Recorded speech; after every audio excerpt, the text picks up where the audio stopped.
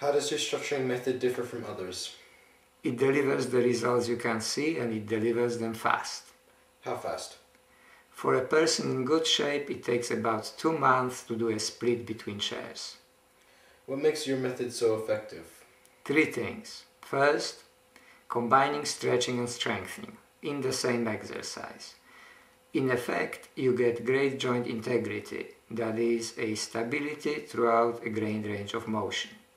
Second, positioning of joints.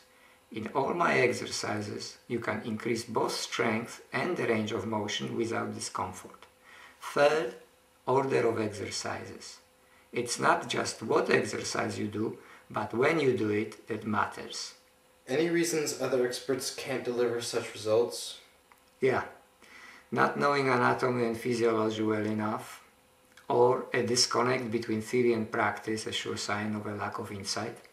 Some even parrot my statements, but with their previous stretching they have messed up their muscles and joints so badly that they now can't do what my customers can do. They did stupid things, I suppose. What is the key to those great results? Not doing stupid things. What is your main principle of training? The most effect with the least effort. In other words, don't do stupid things. I'm too busy for nonsense.